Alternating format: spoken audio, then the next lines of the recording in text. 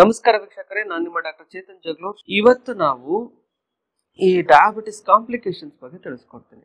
Diabetic complications ಅಂದ್ರೆ ಏನು? ನಂಗೆ ಯಾವ ತರ ಅರ್ಥ ಮಾಡ್ಕೋಬೇಕು? ನಂಗೆ ಗೊತ್ತಾಗ್ತಾ ಇಲ್ಲ ಅಂತ ಹೇಳಿದ್ರೆ ಡಯಾಬಿಟಿಕ್ ಕಾಂಪ್ಲಿಕೇಶನ್ಸ್ ಅಂದ್ರೆ ಏನು ಅಂತ ಹೇಳಿದ್ರೆ ಇವಾಗ ಅಕಸ್ಮಾತ್ ಏನಾದ್ರು ಶುಗರ್ ಶುಗರ್ನ ನೀವು ಹಂಗೆ ನೆಗ್ಲೆಕ್ಟ್ ಮಾಡ್ಬಿಟ್ರಿ. ಸಕ್ಕರೆ ಕಾಯಿಲೆ ಬಂದಿದೆ.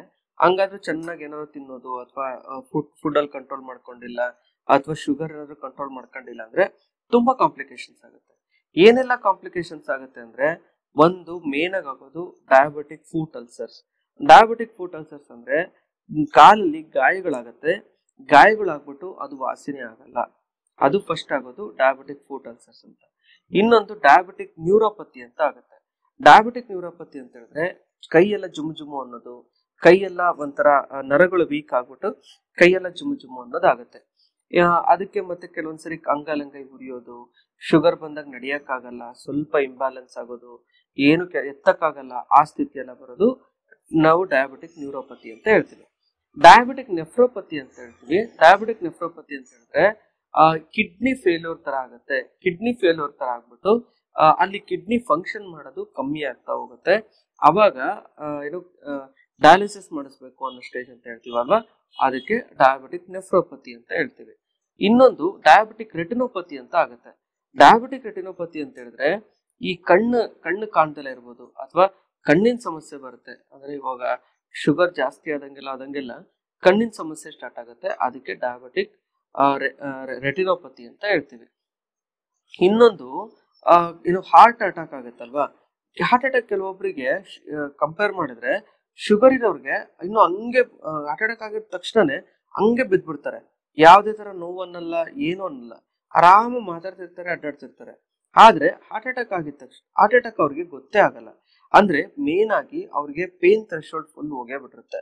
ಅಂದ್ರೆ ಪೇನ್ ಗೊತ್ತೇ ಆಗಲ್ಲ. ಇವಾಗ ಪೆರಿಫರಲ್ ನ್ಯೂರೋಪತಿನಲ್ಲೂ ಅಷ್ಟೇನೆ.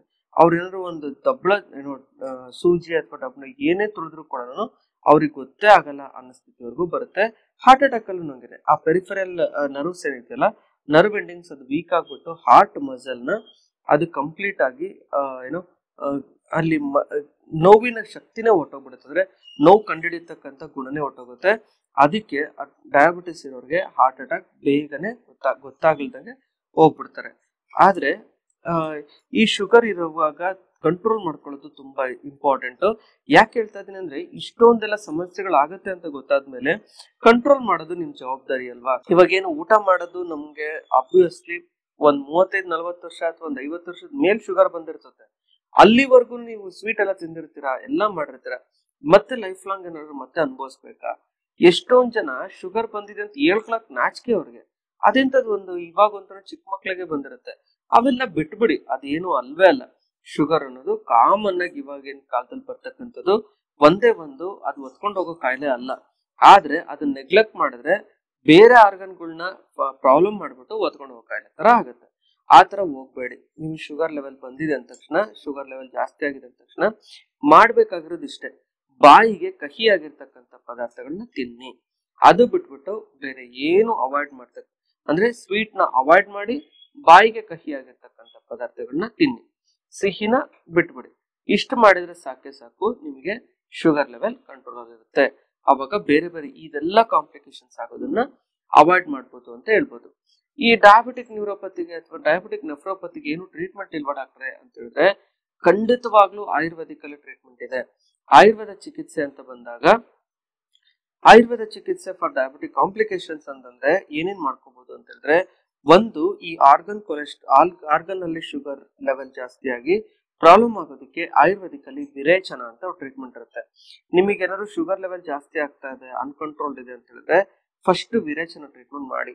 ವಿರೇಚನ ಟ್ರೀಟ್ಮೆಂಟ್ ಮಾಡೋದ್ರಿಂದ ಬಾಡಿಲಿರೋ ಎಲ್ಲ ಟಾಕ್ಸಿನ್ಸ್ ಪಿತ್ತದಂಶ, ಕಫದಂಶ ಎಲ್ಲ ಬೇದಿ ಮುಖಾಂತರ ಹೊರಗಡೆ ಹೋಗ್ಬಿಟ್ಟು ನಿಮ್ಮ ಈಚ್ ಅಂಡ್ ಎವ್ರಿ ಸೆಲ್ ಅಲ್ಲಿ ಇರ್ತಕ್ಕಂಥ ಟಾಕ್ಸಿನ್ಸ್ ಕೂಡ ಹೊರಗಡೆ ಹೋಗುತ್ತೆ. ಹೆಂಗೆ ಅಂತ ಹೇಳಿದ್ರೆ ಫಸ್ಟ್ ಒಂದ್ ನಾಲ್ಕು ದಿವಸ ಒಂದು ಮೆಡಿಕೇಟೆಡ್ ತುಪ್ಪ ಇರುತ್ತೆ. ಅದನ್ನ ಬಿಸಿನೀರಲ್ಲಿ ಇಡ್ತೀರಾ ಇಟ್ಟಾದ್ಮೇಲೆ ತುಪ್ಪ ಕರಗುತ್ತೆ. ಬೆಳಗ್ಗೆ ಎಂಟು ಗಂಟೆ ಕಾಮ್ ಖಾಲಿ ಹೊಟ್ಟೆಲಿ ಅಷ್ಟು ಕೊಡ್ತೀರಾ.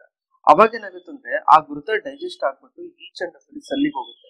ಅಲ್ಲಿರೋ ದೋಷಗಳು ಟಾಕ್ಸಿನ್ಸ್ ಪಿತ್ತದಂಶ, ಕಫದಂಶ ಎಲ್ಲ ಜಾಸ್ತಿ ಮಾಡುತ್ತೆ.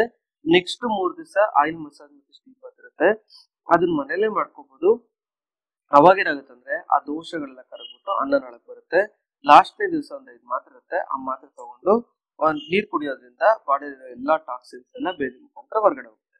ಇಷ್ಟು ಮಾಡ್ಬಿಟ್ಟು ಡಯಾಬಿಟಿಕ್ ಪೆರಿಫರಲ್ ನ್ಯೂರೋಪತಿ ಇತ್ತು ಹೇಳಿದ್ರೆ ಅಥವಾ ಡಯಾಬಿಟಿಕ್ ನ್ಯೂರೋಪತಿ ಇತ್ತು ಅಂತ ಹೇಳಿದ್ರೆ ಅದಕ್ಕೆ ಟ್ರೀಟ್ಮೆಂಟ್ ಬೇರೆ ಆಗುತ್ತೆ. ಅಂದ್ರೆ ಅಶ್ವಗಂಧ ಚೂರ್ಣ ಇದು ಶುಕ್ರ ಮಾತ್ರ ಕವಟಿ ಮತ್ತೆ ಆ ಮಕ್ಕಳ ತೈಲ ಅಂತ ಇರುತ್ತೆ. ಅವುಗಳನ್ನ ಅದನ್ನ ಮಾಡ್ಕೊಳ್ಳೋದ್ರಿಂದ ಒಂದ್ ಮೂರ್ ತಿಂಗಳನ್ನಷ್ಟೊತ್ತಿಗೆ ಆ ನರಗಳಿಗೆ ಶಕ್ತಿ ಬರುತ್ತೆ. ಆಮೇಲೆ ಕಿಡ್ನಿ ರೆಟಿನೋಪತಿ ಆಗಿತ್ತು ಅಂತ ಹೇಳಿದ್ರೆ ಕಣ್ಣಿಗೆ ನಾವು ಒಂದ್ಸರಿ ಕಣ್ಣು ಹೋಯ್ತು ಅಂದ್ರೆ ತುಂಬಾ ಕಷ್ಟ. ಆದಷ್ಟು ವಿರೇಚನ ಟ್ರೀಟ್ಮೆಂಟ್ ತಗೊಂಡು ನೀವು ಏನು ನಾರ್ಮಲ್ ಮಾಡ್ಕೊಳ್ಳೋದು ಒಳ್ಳೇದು. ಅಥವಾ ಡಯಾಬಿಟಿಕ್ ಫುಡ್ ಅಲ್ಸರ್ಸ್ ಇತ್ತು ಅಂತ ಹೇಳಿದ್ರೆ ವಿರೇಚನ ಟ್ರೀಟ್ಮೆಂಟ್ ಮಾಡ್ಕೊಂಡು ಮಧುಚಿಷ್ಟಲೇಪ ಗಂಧ ಕವಟಿ ಮತ್ತೆ ಕಲ್ಯಾಣ ಕ್ಷಾರ ಅಂತ ಅವುಗಳನ್ನ ಮಾಡ್ಕೊಳ್ಳೋದ್ರಿಂದ ಈ ಡಯಾಬಿಟಿಕ್ ನ್ಯೂರೋಪತಿ ಅಥವಾ ಡಯಾಬಿಟಿಕ್ ಫುಡ್ ಅಲ್ಸರ್ಸ್ ಕಂಪ್ಲೀಟ್ ಆಗಿ ವಾಸಿ ಆಗುತ್ತೆ. ಯಾಕೆ ಹೇಳ್ತಾ ಇದೀನಿ ಅಂದ್ರೆ, ಹಂಗೆ ಬಿಟ್ಕೊಳ್ತಾ ಹೋದ್ರೆ ಅಂದ್ರೆ ಗ್ಯಾಂಗ್ರೀನ್ ಆಗಿ ಕನ್ವರ್ಟ್ ಆಗುತ್ತೆ ಗ್ಯಾಂಗ್ರೀನ್ ಆಯ್ತು ಅಂದ್ರೆ ಕಾಲೇ ಕಟ್ ಮಾಡ್ಬೇಕು ಅಂತ ನೋಡಿರ್ತೀರ? ಅಥವಾ ನೀವು ಕೇಳಿಸ್ಕೊಂಡಿರ್ತೀರ? ಬೇರೆಯವರೆಲ್ಲ ಕಾಂಪ್ಲಿಕೇಶನ್ಸ್ ಅನುಭವಿಸಿರೋದು ನೋಡಿರ್ತೀರ? ಅಥವಾ ಒಂದೇ ಒಂದೇ ಕಾಲ ಅಡ್ಡಾಡೋದು ನೋಡಿರ್ತೀರ? ಅದೆಲ್ಲ ಏನು ಬೇಡ. ಏನು ಸಿಂಪಲ್ ಆಗಿರ್ತಕ್ಕಂಥ ಮೆಡಿಸಿನ್ಸ್ ಈ ಸ್ಟಾರ್ಟಿಂಗ್ ಸ್ಟೇಜ್ ಅಲ್ಲೇ ವಾಸಿ ಮಾಡ್ಕೊಳ್ಳಿ. ಲೇಟರ್ ಸ್ಟೇಜ್ ಇದ್ರೆ ನಾವು ಕಂಟ್ರೋಲ್ ಮಾಡ್ಬೋದು. ಜೊತೆಗೆ ಮತ್ತೆ ಹಾರ್ಟ್ ಅಟ್ಯಾಕ್ ಆಗುತ್ತೆ ಅಂತ ಹೇಳಿದ್ರೆ ಅದಕ್ಕೆ ಹಾರ್ಟ್ ಅಟ್ಯಾಕ್ ತುಂಬಾ ವಿಡಿಯೋಸ್ ಮಾಡ್ಕೊಟ್ಟಿದೀನಿ. ಅದನ್ನ ನೋಡಿ ಮತ್ತು ಮತ್ತೆ ಸಂಚಿತವಾಗಿ ಮಾಡಿಲ್ಲ ಅಂದ್ರೆ ಮಾಡ್ಕೊಡ್ತೀನಿ. ನೋಡಿದ್ರಲ್ವಾ, ಇಷ್ಟೆಲ್ಲಾ ಕಾಂಪ್ಲಿಕೇಶನ್ಸ್ ಆಗೋದನ್ನ ಆಯುರ್ವೇದಿಕ್ ಅಲ್ಲಿ ತುಂಬಾ ಸಿಂಪಲ್ ಆಗಿ ವಾಸಿ ಮಾಡ್ಕೋಬಹುದು ಮನೆ ಆಹಾರ ವಿಹಾರದಿಂದಲೂ ನಾವು ಮಾಡ್ಕೋಬಹುದು ನಾನು ಹಿಂದಿನ ಸಂಚಿಕೆಗಳಿಗೆ ಆಹಾರ ವಿಹಾರ ಯಾವ ರೀತಿ ನೋಡ್ಕೋಬೇಕು? ಡಯಾಬಿಟಿಸ್ ಮನೆ ಮದ್ದುಗಳು ಯಾವ ರೀತಿ ಮಾಡ್ಬೇಕು ಅಂತ ಹೇಳ್ಕೊಟ್ಟಿದ್ದೀನಿ ಅವನ್ನೆಲ್ಲ ನೋಡ್ಕೊಳ್ಳಿ, ಖಂಡಿತವಾಗ್ಲೂ ಅನುಕೂಲ ಆಗುತ್ತೆ. ಇವಾಗ ಒಂದು ಈ ವಿಡಿಯೋ ಖಂಡಿತವಾಗ್ಲೂ ಶೇರ್ ಮಾಡಿ, ಎಲ್ಲರಿಗೂ ಅನುಕೂಲ ಆಗ್ಲಿ ಅನ್ನೋ ಉದ್ದೇಶ ಅಷ್ಟೇ ನಮ್ ಏನೋ ನಮ್ಮ ಚಾನಲ್ ಉದ್ದೇಶ ಅಷ್ಟೇ. ಎಲ್ಲರೂ ಆರೋಗ್ಯವಾಗಿರ್ಬೇಕು ಸುಖವಾಗಿರ್ಬೇಕು ಖುಷಿ ಖುಷಿಯಾಗಿರ್ಬೇಕು ಅಂತ ಮತ್ತೆ ಮುಂದಿನ ಸಂಚಿಕೊಳಗೆ ಮತ್ತೊಂದು ಇಂಟ್ರೆಸ್ಟಿಂಗ್ ಟಾಪಿಕ್ ಮುಖಾಂತರ ಮತ್ತೆ ಭೇಟಿಯಾಗೋಣ ಅಲ್ಲಿವರೆಗೂ ನೋಡ್ತಾ ಇರಿ, ಆರೋಗ್ಯ ಬಗ್ಗೆ ಯೂಟ್ಯೂಬ್ ಚಾನಲ್ ನಮಸ್ಕಾರ.